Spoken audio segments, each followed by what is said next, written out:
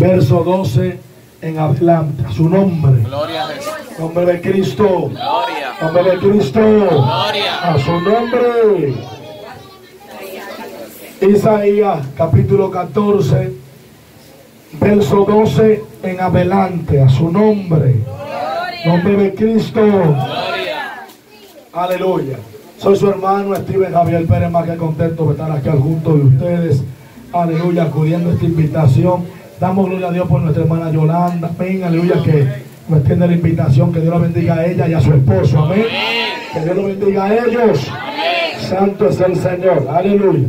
Bendito sea el nombre de Jesús. Isaías capítulo 14, verso 12. Amén mi compañera de ministerio Yasmín Mateo Mercedes, amén. Eh, acompañan también esos hermanos que nos han traído a este lugar. Aleluya, Jennifer y su esposo Derwin, amén. Amén. Aleluya, santo es el Señor. A su nombre, Isaías capítulo 14, verso 12. Tema de este retiro, no pierdas la gracia. Bendito sea el nombre de Jesús. Que Dios bendiga a la pastora de este lugar, amén. Que Dios la bendiga a ella y a los líderes, amén. A su nombre. Gloria. Santo. Leemos las escrituras honrando al Padre, al Hijo y al Espíritu Santo. ¿Cómo caíste del cielo, oh lucero, hijo de la mañana? Cortado fuiste por tierra, tú que debilitabas a las naciones. Tú que decías en tu corazón, subiré al cielo en lo alto. Junto a las estrellas de Dios levantaré mi trono. Y en el monte del testimonio me sentaré a los lados del norte. Y sobre las alturas de las nubes subiré y seré semejante al Altísimo. Mas tú, derribado eres hasta el Seol, a los lados del abismo. Se inclinarán hacia ti los que te vean, se con- te contemplarán diciendo, es aquel varón que hacía temblar la tierra, que trastornaba los reinos, que puso el mundo como un desierto, que asoló sus ciudades, que a sus presos nunca abrió cárcel. Todos los reyes de las naciones, todos ellos yacen con honra, cada uno en su morada. Amén.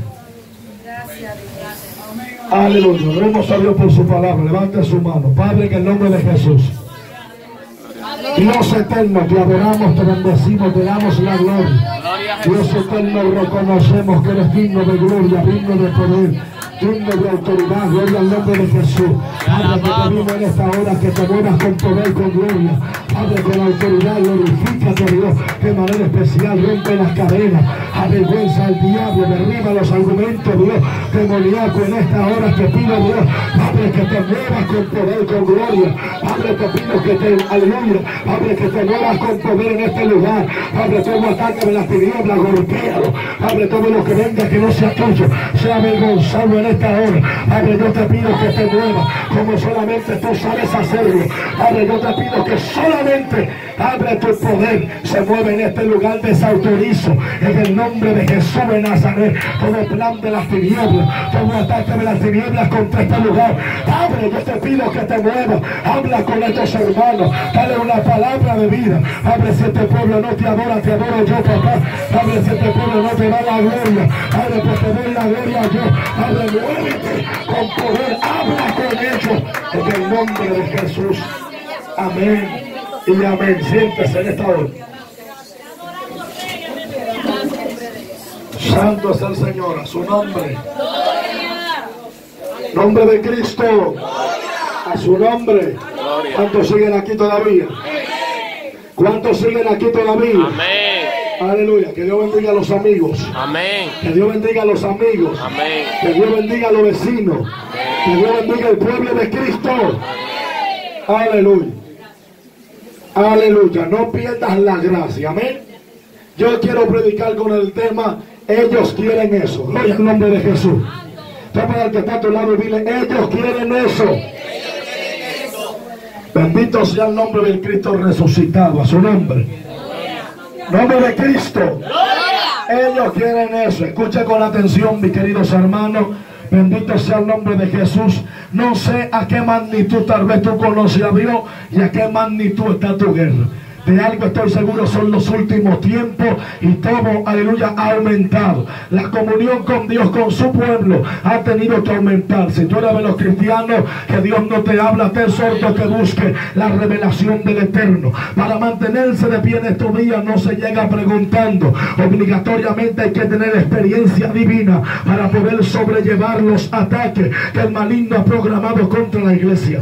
Nosotros conocemos y sabemos que tenemos un adversario del cual un hombre poderoso en Dios dijo que no ignoremos su maquinaria. El apóstol Pablo dijo no ignoramos su maquinaria porque después toma ventaja. O sea, el apóstol Pedro dijo mucho blasfema de las potestades superiores las cuales no conoce que el arcángel Miguel, Miguel teniendo mayor poderío que nosotros no lanzó palabra de maldición contra otro, sino que lo reprendió en el nombre de Jesús. Su nombre.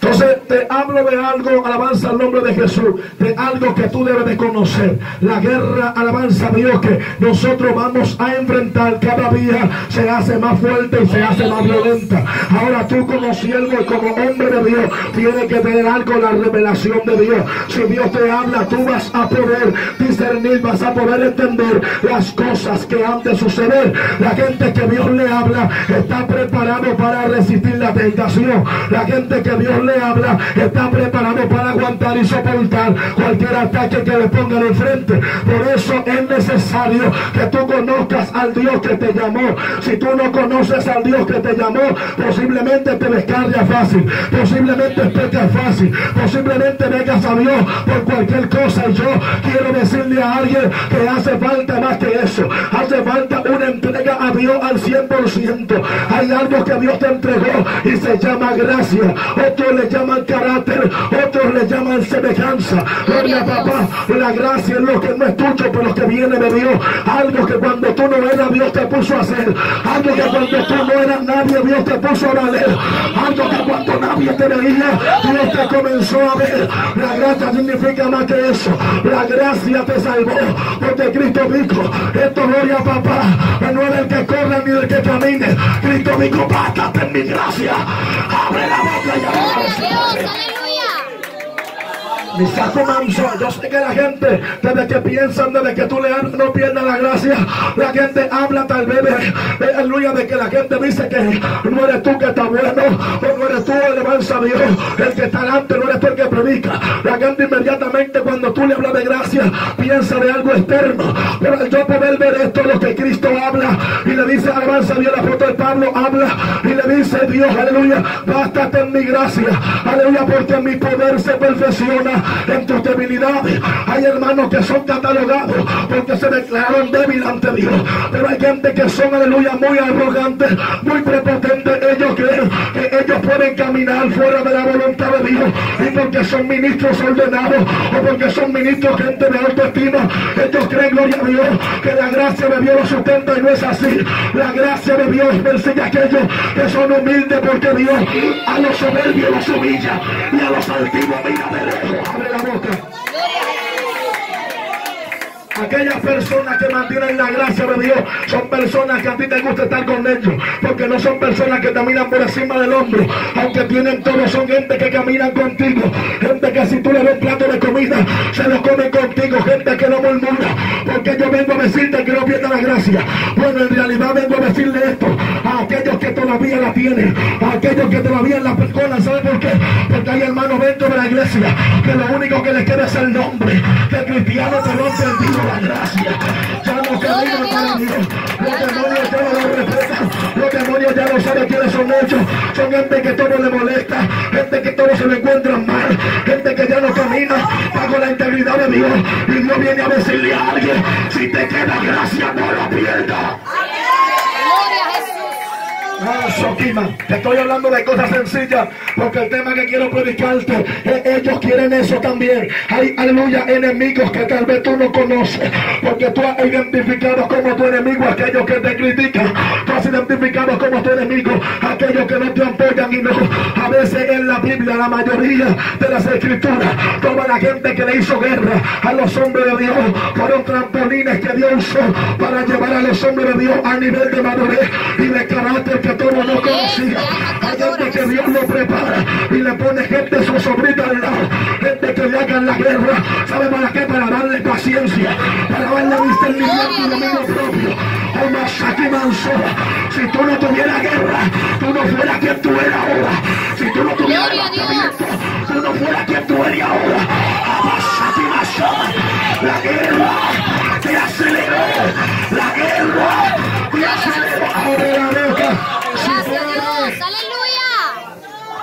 está. La gente cree que cuando Dios le dice al hombre, hagamos al hombre conforme a nuestra imagen, conforme a nuestra semejanza. La gente cree que Dios le está hablando de color, que Dios le está hablando de tamaño, de estatura, y no es así, porque el varón es morenito, aunque esté calladito allá atrás. Gloria papá. Y yo soy medio blanquito, gloria. Y otros son mulatos, otros son medio piel oscura, gloria. Pero ¿qué pasa? Si somos semejanza de Dios, porque aleluya estamos diversos colores, porque tenemos diferentes tamaños, porque la palabra semejanza, descendiente, aleluya, del origen hebreo, significa carácter. Dios lo que le está diciendo al hombre, formaré a un hombre conforme a mi carácter, que se parezca a un Dios, abre la boca. Avanza, Dios no tiene comunión con carne. Dios nunca tiene compromiso con los que se ve. Dios tiene compromiso en los que está en no puedes ver.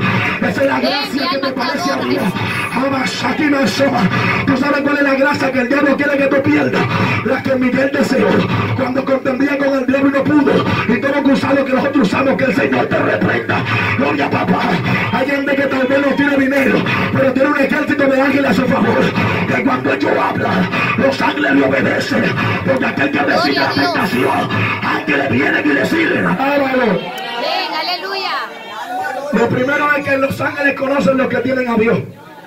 Porque ellos tienen una orden de obedecer y de guardar a todos los que temen a Dios. La Biblia relata que el ángel de Jehová acampa alrededor de los que le temen y les defiende. O sea, que el ángel tiene que conocer a aquellos que temen a Dios. ¿Cuál es el problema? Que hay muchos, gloria papá, que lo podemos engañar aquí por la ropa y la ropa va en larga y la ropa va en ancha por si acaso, gloria. Pero hay muchos que van a creer que tal vez nosotros nos van a engañar con esto, pero no es así. Los ángeles conocen lo de adentro y conocen lo de afuera. Ven, La palabra de Dios es viva y es eficaz. Ella penetra a partir del alma y el espíritu. O sea, que no solamente abre la carne, también abre el alma y abre el espíritu. Gloria. Gloria a Dios. Porque hay gente que ha perdido esto. Que él dice en su corazón, según el profeta Isaías, que subiré y seré semejante al Altísimo. Lucero quería tener de lo que Dios tenía. Y cuando se revela, Dios lo tira para abajo a través del poderoso arcángel Miguel. Y cuando lo tira hacia abajo, Dios viene como de maldad, porque Dios así, ya yo lo conozco. Él viene con su aleluya, como de patérselo, para que le duela al diablo. Y a un hombre que no tiene que ver nada en este pleito, Jehová le da su imagen y le da su semejanza. Cuando el hombre veía, a- aleluya, cuando Dios veía al hombre, veía una parte de él. Cuando el diablo veía al hombre, veía una parte de Dios. ¿Por qué tú crees que la Biblia dice, el que se une a Cristo, un espíritu, es con Cristo, gloria? Porque hay gente que cuando hace la voluntad de Dios, se hace amigo de Dios. Tú tienes un mi alma día, te adora, en un Jesús. nivel tan espiritual, que los demonios ya no ven tu carne, sino que ven a Cristo. Hay gente que dice enferma, porque la enfermedad ya no te ve a ti, sino que ve a Cristo. Gloria a Dios. Abre la boca y adóralo. Gloria a Dios. Aleluya. Bien, ¿quiénes son ellos? ¿Quiénes quieren eso? Hay enemigos que tú no conoces. Vamos a soltar Santa Marta y Anaís a pie. Hay enemigos de los cuales tú no tienes idea. Gloria papá. Enemigos que andan buscando cosas para avergonzar el nombre del Evangelio. Gente que está dentro de la iglesia que el diablo quiere avergonzarla para que dejen de predicar la palabra. El que mucho corrige no puede cometer errores. Porque hay gente dentro de la iglesia que está esperando que tú falles para predicarte tu mismo mensaje en la cara y decir, pero tú predicaste esto y tú dijiste eso ¿por qué? Porque son gente que son unos desgraciados. Gloria a papá, que están dentro de la iglesia, perdieron la gracia y la comunión con Dios y quieren desgraciarle la vida a otro. Abre la boca, como ellos fracasaron, como ellos no pudieron, quieren desgraciar la vida a ellos, como ellos no oran, le molesta el que ora, como ellos no danzan, le molesta el que danza, como ellos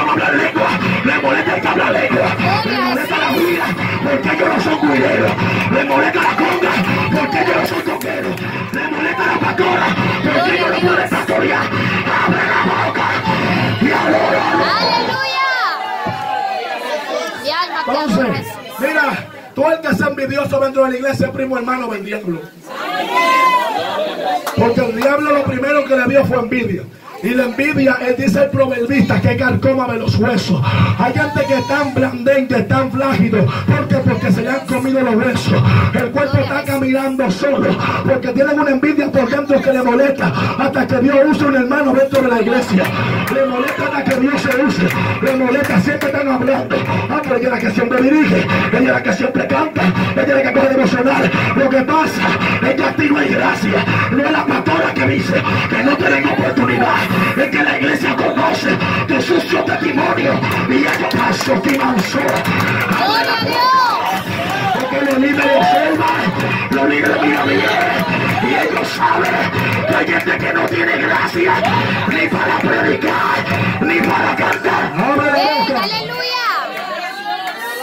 Mira, la gente que ha sido destronado de su gracia, para no decir desgraciado, a papá. Lo primero que hacen es que tú le des un mensaje para que ellos se desarrollen y los que se desahogan en el altar comienzan a decir, sí, porque aunque no te den oportunidad, Dios va a estar contigo.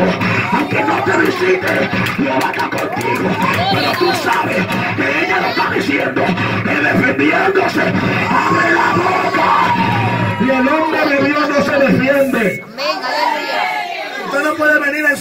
ensuciar el altar con su problema.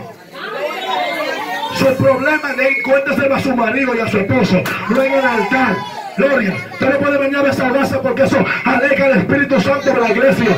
Cuando alguien viene y se desahoga y dice que el Señor está hablando, eh, y vos un loco por allá y que habla, papá, el del cubrito de gloria, abre la boca, eh, porque alabanza al nombre de Dios. Porque se están secando, ni manso. Se están metiendo dentro de la iglesia. Porque los objetivos del diablo es quitar la gracia que tiene la iglesia. Porque el pastor tiene que andar recto. No por haciéndolo compartir en todos los chistes, en todas las cosas. ¿Por qué? Porque aleluya, los pastores tienen que tener buen testimonio de adentro y también de afuera.